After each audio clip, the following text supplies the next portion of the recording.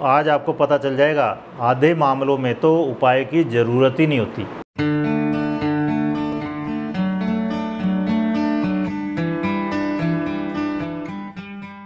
तो उपाय ज्योतिष की मोडस ऑपरेंडी क्या है टेक्निक क्या है? तो ज्योतिष में, कुंडली में अगर आपको पता है तो उसको देखिए, उसमें शुभ ग्रह और अशुभ ग्रह कौन से हैं? कुंडली में ये देख लीजिए कि शुभ ग्रह कौन से हैं, अशुभ ग्रह कौन से हैं। फिर ये देखिए, बली ग्रह कौन से हैं, निर्बल ग्रह कौन से हैं? मतलब स्ट्रॉन्ग बली मीन स्ट्रॉन्ग और निर्बल वीक ये देख लीजिए। तो अब आइए ग्रहों के चार वर्ग बना लेते हैं। पहले तो शुभ अशुभ देख लिया आपने, फिर देखा बली है या निर्बल है ग्रह। तो अब चार करेंगे। पहला क्या है? शुभ हो के बली हो। कोई ग्रह अगर शुभ भी है और बली भी है तो क्या उपाय की कोई आवश्यकता नहीं है? तो आपकी कुंडली में भी इस तरह जो ग्रह शुभ है और बली भी है। अब भाई कोई आपके पेरेंट्स हैं, मान लो, आपके लिए अच्छे हैं ना वो? और स्ट्रांगली आपकी हेल्प करने के लिए समर्थ भी हैं, वो कर सकते हैं, पैसा भी है उनके पास। आप विदेश जाना चाहते हो, आपके लिए वहाँ का अरेंजमेंट कर सकते हैं। आपने फ़लानी जगह एडमिशन लेना है, पैसे की कोई तंगी नहीं है। या सही टाइम पे सही सलाह देने के लिए तैयार हैं। तो फिर आपको उनके लिए कुछ ज़्यादा करने की ज़रूरत है ही नहीं। ग्रहों को हमेशा ये समझो जैसे वो आदमी है कोई। आदमी या औरत मतलब मनुष्य, जाति का है कोई, इस तरह से समझ लीजिए। तो शुभ हो के बली है तो उसके उपाय करने की कोई ज़रूरत नहीं है। हर मामले में उपाय ज़रूरी नहीं होता। अब आप अच्छे भले स्वस्थ हो, आप ये थोड़ा कि जी, मैं तो बहुत अमीर आदमी हूँ, मैं तो दवाई खाऊँगा ही खाऊँगा और सबसे महँगा इंजेक्शन लगवाऊँगा। कोई मतलब नहीं है। कौन बेवकूफ़ है? कहीं डॉक्टर के पास जाके कहेगा, दवाई दो मुझे। जब बीमारी ही नहीं है, काहे की दवाई? तो दवाई तभी ली जाती है जब अस्वस्थ है व्यक्ति। तो ये हमेशा ध्यान में रखना है। ज़्यादातर ज्योतिषी क्या कर रहे हैं? हर एक चीज़ में आपको पकड़ा रहे हैं। लो जी, उसके पास कोई रत्न पड़ा है, बेचना है, लो, ये रत्न पहनना ज़रूरी है। इस तरह से किया जा रहा है। तो पहले तो मैं आप, आज आपको पता चल जाएगा, आधे मामलों में तो उपाय की ज़रूरत ही नहीं होती। चार मामलों में से दो में उपाय की ज़रूरत ही नहीं होती। तो पहला पहला कौन सा मामला है? शुभ हो के जब कोई ग्रह बली हो तो उपाय करने की कोई ज़रूरत नहीं है। दूसरा, शुभ हो के निर्बल हो। अब ग्रह तो है शुभ, लेकिन शुभ करने में समर्थ नहीं है। ठीक है ना? शुभ होके निर्बल है, कमज़ोर है। तो अब मैं इसकी बात बता रहा हूँ, और पाँचों हम एक तरफ़ पाँचों वो रख लो, एक तरफ़ ये चार कैटेगरी रख लीजिए। एक तरफ़ मंत्र, रत्न, औषधि, दान, स्नान, उनको रख लीजिए। उनमें से कौन सा पिक करना है आपने? ठीक है ना? जिस तरह किचन में होता है भाई, आप कौन सा इंस्ट्रूमेंट उठाना है आपने? खाना पकाना है, चकला बेलन उठाओगे या चाकू उठाना है या चम्मच उठाना है, क्या लेना है? वो आप देखते हो ना, आपका टास्क क्या है? तो अब यहाँ पर चार पाँच तरह की टास्क हैं। इनके लिए कौन सी रेमेडी लेनी है?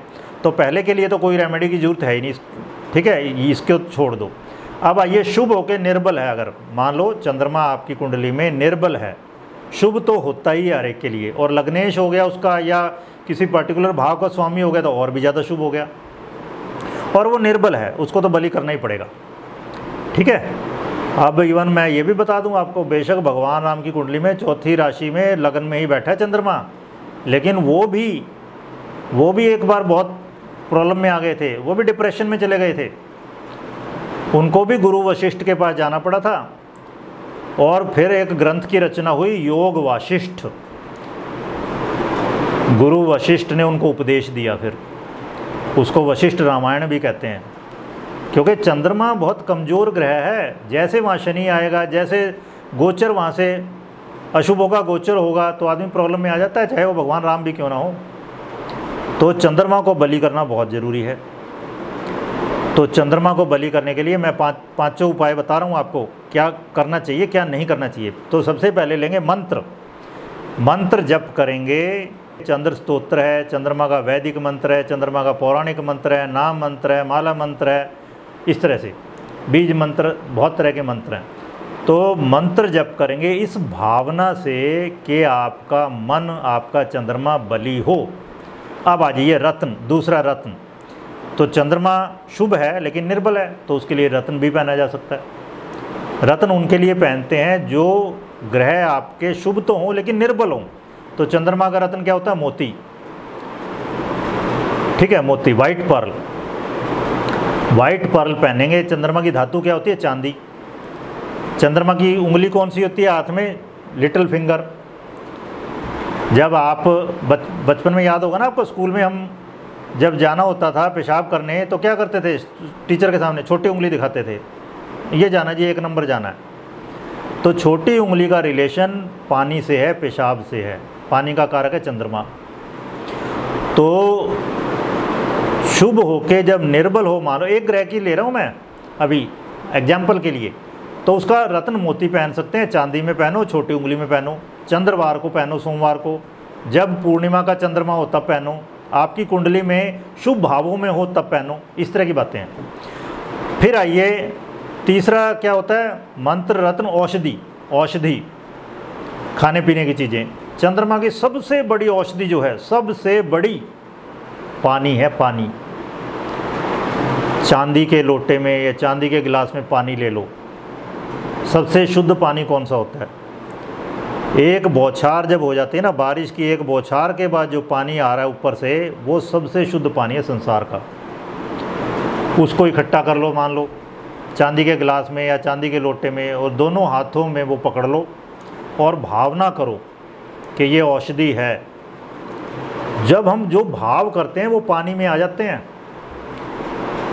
कि मैं इससे ठीक हो जाऊँगा, मेरे जो अजीर्ण है जो कॉन्स्टिपेशन है, वो इससे दूर हो जाएगी। शरीर की गंदगियों से मैं मुक्त हो जाऊँगा। और फिर उसको हम पिएँगे घूट घूट करके, जिसको आचमन कहते हैं तो आप देखना वो औषधि का काम करेगा। तो चंद्रमा की सबसे बड़ी औषधि है पानी। फिर सारी लिक्विड्स जिस तरह मान लो आप सब्ज़ी खाते हो, भें भें हैं, कमल ककड़ी जिसे कहते हैं, वो चंद्रमा के लिए है। फिर दवाई है उसकी, मान लो, सफ़ेद मूसली है दवाई, वो चंद्रमा की दवाई है। जो लेडीज़ हैं, मान लो, डिलीवरी हुई, उस वक्त उनको भी खिलाई जाती है वो। तो इस तरह से हर एक ग्रह की औषधियाँ हैं। सिंगाड़ा है जैसे, जलज, जल से उत्पन्न जो भी चीज़ें हैं सब, या जिन सब्जियों में ज़्यादा पानी होता है, जिस तरह अब तोरी, घिया है, उसमें पानी खूब है। तो चंद्रमा का रोल है उसमें। तो इस तरह से औषधि हो गया। अब आइए दान। चौथा क्या है? दान। अब क्या है? पहले तो शुभ है आपका ग्रह और है निर्बल तो भाई दान तो कभी नहीं देना उसका। जब आपके लिए जो ग्रह शुभ हो लेकिन निर्बल हो, अब आप पैसा चाहते हैं और दान कर रहे हो, सोचो आप। तो ये तो उल्टा अपने पाँव पे कुल्हाड़ी मारना हो गया। तो उसके लिए उल्टा दान लेंगे। देंगे नहीं। लेंगे कैसे? जिस तरह आपकी माँ है। तो लाल किताब कहेगी कि अपनी माँ के हाथों से चांदी का टुकड़ा लेके अपने पास रखो, या चावल लेके पोटली में बाँध के सफ़ेद कपड़े में अपने पास रखो। इस तरह से चावल, क्योंकि चंद्रमा की, चंद्रमा का अनाज है, चांदी चंद्रमा की धातु है, इस तरह की बातें। और माँ क्या है? चंद्रमा की कारक, या माँ की सेवा करो, इस तरह की बातें। तो बता दिया मैंने चौथा आपको, मंत्र, रत्न, औषधि, दान जब शुभ हो के कोई ग्रह निर्बल हो, उसके लिए दान नहीं करना, लेना है उल्टा। और फिर पांचवा क्या होता है? स्नान। तो जब भी कोई ग्रह शुभ हो के निर्बल हो, उसका स्नान किया जा सकता है। अब चंद्रमा के लिए खासकर, चंद्रमा के लिए क्या है स्नान? पानी। चंद्रमा की कारक। ठीक है? तो मैंने बता दिया आपको पाँच, पाँचों उपाय। कौन से करने चाहिए, कौन से नहीं करने चाहिए। शुभ हो के जब ग्रह ग्रह निर्बल हो, तब। एक एग्ज़ाम्पल से बता दिया मैंने आपको। अब आइए तीसरा। जब कोई ग्रह अशुभ हो के बली हो, अब अशुभ भी है और अशुभ करने में समर्थ भी है। बलि का मतलब समर्थ। अब शनि अशुभ है, एक तो है, अशुभ है, ठीक है भाई, सांप है, लेकिन वो आपके आसपास कहीं है ही नहीं, अपने बिल में है। पड़ा रहा है भाई। लेकिन घर में है। डस सकता है वो एकदम फुंकार रहा है तो आपको उसको कमज़ोर करना पड़ेगा ना। तो जब कोई ग्रह अशुभ हो के बली हो तो उसको क्या करना पड़ेगा? अब आपको निर्बल करना पड़ेगा। निर्बल करने के उपाय करने पड़ेंगे। तो वो कौन कौन से आप वा, वापस पाँचों लेते हैं। सबसे पहले मंत्र। मंत्र पाठ करेंगे। लेकिन अब मंत्र वही है लेकिन भावना बदल जाएगी। भावना क्या होगी? कि इसका अशुभ प्रभाव दूर हो, अशुभ प्रभाव दूर हो। तो अब शनि के लिए स्तोत्र है। स्तोत्र मतलब स्तुति, उसकी पूजा प्रार्थना करनी है।